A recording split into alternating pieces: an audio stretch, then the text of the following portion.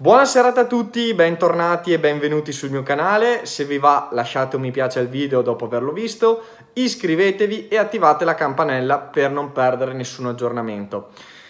Si fanno sempre più insistenti le voci secondo le quali il prossimo allenatore della Juventus per la stagione 2024-2025 sarà Antonio Conte o Tiago Motta. Entrambe le scelte vogliono dire solo una cosa, finalmente ci stiamo per liberare di Allegri. È un qualcosa vista come la liberazione direi del popolo juventino, un cambio, non dico epocale perché sarebbe esagerato, però un cambio che noi tifosi juventini veramente aspettiamo come l'acqua nel deserto. No? Non vediamo l'ora di, di insomma anche entusiasmarci per una conferenza stampa, per, mm, per, un qualsiasi cosa che porti alla figura di un nuovo allenatore, che si distacchi da quello che è stato ed è tuttora Massimiliano Allegri, una figura ingombrante, scomoda, fastidiosa, basta, non ce la facciamo più. In questo video quindi, visto che ad oggi appunto sembrano queste le due opzioni più probabili, vorrei soffermarmi su quelli che sono i pro e i contro di entrambi gli allenatori, di entrambe le possibili scelte. Ehm, vediamo se potranno entrare in gioco altri candidati, mancano ancora sette gare alla fine del campionato e c'è anche una Coppa Italia di mezzo, la stagione non è ancora conclusa, quindi mi aspetto che eh, le notizie del, del, nuovo allenatore, la notizia del nuovo allenatore, soprattutto il lato Juve, arrivi a stagione conclusa. Forse, come paventano alcuni giornali, si arriverà ad annunciare il nuovo allenatore eh, o quantomeno l'esonero o la fine della, dell'avventura di Allegri sulla panchina bianconera una volta raggiunta la qualificazione in Champions League. Ma non mi stupirebbe se si attendesse proprio l'ultima partita. Detto ciò, cominciamo con Antonio Conte, i pro del ritorno di Antonio Conte sulla panchina bianconera. Diciamo che il, il vantaggio numero uno è che Conte conosce benissimo l'ambiente Juve, essendo stato giocatore, capitano, ha già allenato per tre anni e quindi Conte, per Conte sarebbe un ritorno a casa. Conte di sicuro è Juventino dentro e quindi questo diciamo può essere un vantaggio per entrare in un gruppo subito a gamba tesa, non avrebbe bisogno di ambientarsi. Punto numero due, il, il secondo vantaggio è che Conte è un motivatore nato per la situazione della Juventus, per i giocatori che ha la Juventus, un allenatore come Conte potrebbe essere l'elettroshock necessario per risvegliare gli animi, per tirar fuori quel qualcosa in più da tutti i giocatori e soprattutto per far rendere una rosa che molti reputano scarsa, ma che scarsa non è.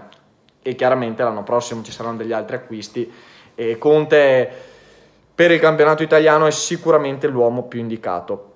Punto numero 3. Antonio Conte ha dichiarato che il suo sogno, il suo obiettivo è quello di vincere la Champions League con una squadra di club. Devo aggiungere qualcosa? È quello che tutti i tifosi della Juventus sperano e vogliono. Sappiamo benissimo che l'anno prossimo è utopia, però quantomeno dirlo, quantomeno crederci, quantomeno provarci. Iniziare un percorso atto A. È vero che i risultati di Conte in ambito europeo sono stati abbastanza deludenti, però che non sia un matrimonio che possa matchare bene anche con questo obiettivo comune. Anche se sinceramente se dovessero annunciare Conte non mi aspetterei un Conte che in conferenza stampa vada a dire sì noi puntiamo alla Champions, mi aspetterei un Conte che come sempre mette le mani avanti, che le altre squadre in Europa sono nettamente più forti, la solita diciamo tiritera che sappiamo benissimo. Quindi questo comunque è il terzo punto a favore. Il quarto punto a favore del ritorno di Antonio Conte sulla panchina bianconera è che è una figura che unirebbe il tifo. Nonostante molti adesso sono contrari, però Conte bastano due o tre conferenze stampe, due o tre diciamo incitamenti a bordo campo dei suoi, due o tre esultanze ai gol passionali e io sono convinto che il tifoso juventino anche quello diciamo un po' più infastidito dal suo ritorno tornerebbe ad amarlo, magari non come prima perché comunque lo scotto di essere andato all'Inter è ancora forte e anche per me lo è, però se dopo fa parlare il campo secondo me Conte, Conte tornerebbe nei cuori dei bianconeri, dei tifosi bianconeri. E il quinto punto, non so se sia un vantaggio, però sarebbe il suo sistema di gioco o il suo modo di far giocare le squadre Conte è uno che studia, è uno che migliora, è uno che è sempre all'avanguardia, alla ricerca di evolversi anche sul piano del gioco. Quindi secondo me anche se non sappiamo ancora che Juventus ha in mente Conte,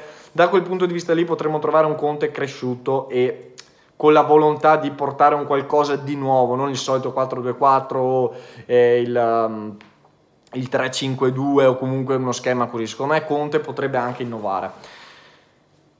Quindi questi diciamo sono i 5 pro del passaggio di Conte alla Juventus. Ora andiamo su Tiago Motta, i pro di Tiago Motta. I pro di Tiago Motta sono, secondo me, il primo è un allenatore giovane, un allenatore che sarebbe alla sua prima esperienza di una big ed è un allenatore che ha dimostrato a Bologna di saper giocare veramente un bel calcio e di non aver paura di parlare di calcio e di mettere in campo una squadra che giochi a testa alta, per citare Giampaolo e il Milan, anche se diciamo un brutto esempio. Quindi ecco, Tiago Motta secondo me il primo pro è questo, è uno che eh, fa giocare a calcio la sua squadra.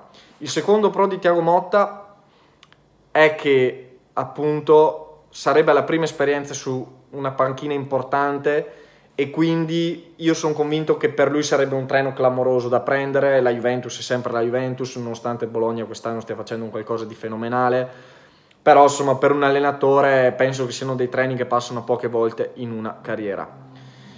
Il terzo pro di Tiago Motta alla Juve sarebbe un volto nuovo, sarebbe un volto nuovo, sarebbe una figura diversa rispetto a Conte e anche per noi tifosi sarebbe proprio un foglio bianco da conoscere e quindi questo diventa automaticamente un pro per lui ma anche per noi perché sarebbe proprio una storia da iniziare tutta da scrivere eh, quindi e questo punto secondo me racchiude tanti punti di forza che ha Tiago Motta eh, nella, nell'ottica della Juventus Quarto punto è che Tiago Motta sa lavorare molto bene con gli attaccanti, sa lavorare molto bene con i giovani e la Juve di questo ne ha tremendamente bisogno.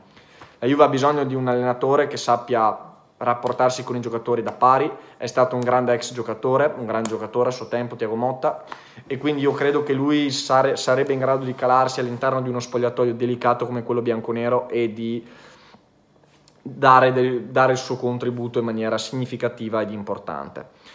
Passiamo ora ai contro. I contro, a cominciare da Antonio Conte, è appunto uno dei pro anche il fatto che sarebbe una minestra riscaldata. Da una parte basta con questi ritorni, anche se è Conte, ma già l'Allegri bis non ha portato bene, il Pogba bis non ha portato bene.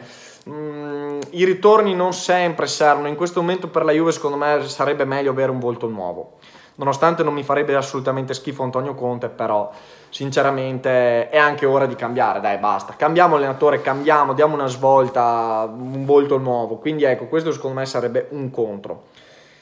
Un altro contro è che Conte spreme i giocatori, li spreme fino al punto di farli sfinire, magari tira fuori tutto in due o tre stagioni, ma poi rischi che i giocatori si sfascino perché ha fatto così alla Juve, ha fatto così anche all'Inter, insomma i giocatori lui li porta oltre il limite e come rendimento nella singola stagione va benissimo, però sul lungo potrebbe essere un po' degradante. Un altro contro di Conte è quello che comunque ha esigenze molto alte nei confronti della società ed è vero che uno può dirmi eh, è un pro, però è il classico che ti lascia a inizio del ritiro, che a metà stagione le cose non vanno come dice lui, le scelte non sono come dice lui, prende e va via. Quindi può anche essere un contro e alla Juve ci vuole molta pazienza quest'anno, ci vuole molta pazienza secondo me. Quindi questo potrebbe essere un, un, contro. E poi l'ultimo è che in Europa non ha dimostrato nulla per adesso. Io da Juventino voglio un allenatore europeo. E a differenza di Tiago Motta, Tiago Motta non ha l'esperienza di Conte. Conte nelle sue avventure europee, sì, una finale di Europa League, ma comunque persa. Una semifinale di Europa League, addirittura con la finale in casa con la Juve, persa malamente. Insomma, ha un po' di, secondo me, ancora di gavetta europea da fare o comunque da dimostrare.